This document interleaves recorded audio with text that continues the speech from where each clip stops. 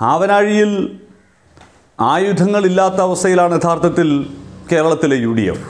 അതുകൊണ്ടാണ് ഈ തെരഞ്ഞെടുപ്പിൽ ന്യായ് പദ്ധതി ഒരു മുഖ്യ പ്രചരണ വിഷയമാക്കി മാറ്റുന്നതിന് യു ഡി എഫ് ശ്രമം തുടങ്ങിയത്. കഴിഞ്ഞ ലോക്സഭാ തെരഞ്ഞെടുപ്പിൽ രാഹുൽ ഗാന്ധി മുന്നോട്ട് വച്ച് ജനം തിരസ്കരിച്ച ഒരാശയം. ആറായിരം രൂപ പാവപ്പെട്ട കുടുംബങ്ങൾക്ക് ഒരു മാസം സഹായമായി നൽകുന്നു എന്നുള്ളത് വലിയ കാര്യമാണ്. പക്ഷേ അതിന്റെ പ്രായോഗികതയെ ചൊല്ലിയുള്ള ആശങ്ക കഴിഞ്ഞ ലോക്സഭാ തെരഞ്ഞെടുപ്പ് കാലത്ത് തന്നെ ഉണ്ടായിരുന്നതാണ്. അതുകൊണ്ട് തന്നെയാണ് ജനം ആ വാഗ്ദാനത്തെ വിശ്വസിക്കാതിരുന്നത്.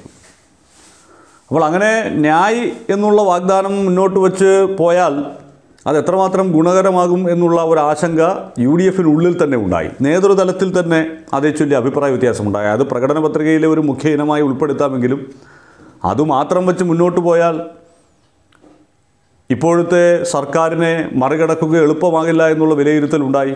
കാരണം അവർ ജനങ്ങളിലേക്ക് ഇറങ്ങി ഇറങ്ങിച്ചെന്നിരിക്കുന്നു എന്നുള്ളത് നേതാക്കൾക്ക് തന്നെ സമ്മതിക്കേണ്ടി വന്നിരിക്കുന്ന ഒരു സാഹചര്യം. അപ്പോഴാണ് മറ്റൊരായുധമുണ്ടല്ലോ എന്നുള്ള ചിന്ത യു ഡി എഫിനുണ്ടായത് കഴിഞ്ഞ ലോക്സഭാ തെരഞ്ഞെടുപ്പിൽ വലിയ വിജയത്തിന് കാരണമാകുന്നതിൽ പ്രധാനമായി നിന്ന ഒരു ഘടകം ശബരിമല. ആ ശബരിമല കൂടി കഴിഞ്ഞ ലോക്സഭാ തെരഞ്ഞെടുപ്പിന്റെ വേളയിൽ യു ഡി എഫിന് അനുകൂലമായ ഒരു വലിയ ജനവിധി ഉണ്ടാകുന്നതിന് കാരണമായിട്ടുണ്ട്. അപ്പോൾ ആ ശബരിമല കൂടി ഒന്ന് പൊടിതട്ടി എടുത്തു കളയാം എന്നുള്ള ചിന്ത ഉണ്ടായി യു ഡി എഫ് നേതൃത്വത്തിന്. അങ്ങനെ ആ ചിന്തയുടെ അടിസ്ഥാനത്തിലാണ് കഴിഞ്ഞ ദിവസം ഉമ്മൻചാണ്ടി മുഖ്യമന്ത്രിക്ക് ഇത് സംബന്ധിച്ച നിയമനിർമ്മാണം നടത്തണമെന്ന് ആവശ്യപ്പെട്ടുള്ള കത്ത് നൽകിയത്. ഇപ്പോഴിതാ ഐശ്വര്യ കേരള യാത്രയുടെ ഭാഗമായി രമേശ് ചെന്നിത്തല പറഞ്ഞുകൊണ്ടേയിരിക്കുന്നു ശബരിമലയും മുഖ്യമാണ് എന്ന്. അപ്പോൾ ശബരിമലയും ഈ തെരഞ്ഞെടുപ്പിൽ പ്രചരണായുധമാക്കാൻ യു ഡി എഫ് തീരുമാനിച്ചിരിക്കുന്നു എന്നർത്ഥം. നാം കാണേണ്ടുന്ന ഒരു കാര്യം ഈ ശബരിമല ഏറ്റവും വലിയ ആയുധമാക്കി ഉപയോഗിച്ചുകൊണ്ട് ഈ നാട് മുഴുവൻ അക്രമവും അരാജകത്വവും അഴിച്ചുവിട്ട ബി ജെ പി പോലും ശബരിമല മടക്കി പോക്കറ്റിലിട്ടിരിക്കുന്ന അവസ്ഥയാണ്. അവർക്ക് മനസ്സിലായി അത് ഏശാൻ പോകുന്നില്ല എന്ന്. അപ്പോഴും യു ഡി എഫ് ആ പാർലമെന്റ് തെരഞ്ഞെടുപ്പ് കാലത്ത് തങ്ങൾക്ക് അനുകൂലമായ വികാരം ഉണ്ടാക്കിയെടുക്കുന്നതിൽ ശബരിമല ഗുണം ചെയ്തു എന്നുള്ള ചിന്തയുടെ അടിസ്ഥാനത്തിൽ അത് പൊടിതട്ടിയെടുക്കുകയാണ്. അപ്പോൾ പഴയതൊക്കെയാണ് പൊടിതട്ടിയെടുക്കുന്നത്. പുതിയതൊന്നും പറയാനില്ല. ഒരു തെരഞ്ഞെടുപ്പിൽ ഒരു സർക്കാരിനെതിരെ ഉന്നയിക്കാൻ തക്ക നിലയിലുള്ള വിശ്വാസ്യതയുള്ള മൂർച്ചയേറിയ ആയുധങ്ങളില്ലാത്ത ഒരവസ്ഥയിൽ പാടിപ്പഴകിയ കഥകൾ. ശബരിമലയും ന്യായുമൊക്കെ ജനങ്ങളുടെ മുന്നിലേക്ക് വച്ച് വോട്ട് തേടുക എന്ന നിലയിലേക്ക് എത്തുകയാണ്. പോയി പറയാനുള്ള സർക്കാരിനെതിരായിട്ടുള്ള അഴിമതി അഴിമതി അഴിമതി എന്ന് പറഞ്ഞുകൊണ്ടിരിക്കുമ്പോഴും ആ അഴിമതി ആരോപണങ്ങളിലൊന്നും വസ്തുനിഷ്ഠമായി സർക്കാരിനെ പ്രതിക്കൂട്ടിൽ നിർത്താൻ സാധിച്ചിട്ടില്ല എന്നുള്ള ഒരു യാഥാർത്ഥ്യം നമ്മുടെ മുന്നിലുണ്ട്. അത് യു ഡി എഫ് നേതാക്കളും തിരിച്ചറിയുന്നുണ്ട്.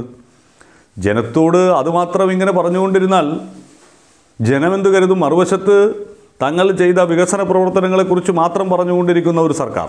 അപ്പോൾ അവരെ നേരിടാൻ ഈ പറയുന്നത് പോലെ അഴിമതി സ്വർണക്കടത്ത് ലൈഫ് മിഷൻ എന്നൊക്കെയുള്ള കാര്യങ്ങൾ പറഞ്ഞുകൊണ്ടിരുന്നാൽ അത് ഏശാൻ പോകുന്നില്ല എന്നും അത് തങ്ങൾക്ക് തന്നെ തിരിച്ചടിയാകും എന്നുമുള്ള തിരിച്ചറിവിലാണ്. ഏതെങ്കിലും വിധേനെ എങ്ങനെയെങ്കിലും ജനങ്ങളെ സ്വാധീനിക്കാൻ ശ്രമിക്കുന്ന ഒരായുധം എന്നുള്ള നിലയിൽ ശബരിമലയിലേക്ക് യു ഡി എഫ് നേതൃത്വം എത്തുന്നത്. പക്ഷേ ശബരിമലയിൽ നിയമനിർമ്മാണം എന്നുള്ളത് യു ഡി എഫ് മുന്നോട്ട് വയ്ക്കുമ്പോൾ അതെങ്ങനെ സാധ്യമാകും എന്നുള്ള ചോദ്യം സ്വാഭാവികമായി ഉയരില്ലേ? മണ്ടന്മാരല്ലാത്തവർക്ക് അത് ബോധ്യപ്പെടുന്ന കാര്യമാണ്. അങ്ങനെ ഒരു നിയമനിർമ്മാണത്തിന്റെ സാധ്യത അങ്ങനെ ഒരു നിയമനിർമ്മാണത്തിന്റെ നിയമസാധുത എത്രമാത്രമാണ് എന്നുള്ളത്? സുരേഷ് ഗോപിയെ പോലുള്ളവർ തന്നെ പരസ്യമായി പറഞ്ഞു പിണറായി വിജയൻ ചെയ്തത് ഏതൊരു മുഖ്യമന്ത്രിയും ചെയ്യുന്ന കാര്യമാണ് എന്ന്. സുപ്രീം കോടതി ഒരു നിയമത്തെക്കുറിച്ച് അവസാനമായി പറയുമ്പോൾ അത് നടപ്പിലാക്കുക എന്നുള്ളതൊരു ബാധ്യതയാണ്. പിന്നെ അതിന് തിടുക്കം കൂടിപ്പോയോ ഇല്ലയോ എന്നൊക്കെ ഉള്ളതാണ് അതിന്റെ തുടർച്ചയായി ഉന്നയിക്കപ്പെടുന്ന വിഷയങ്ങൾ.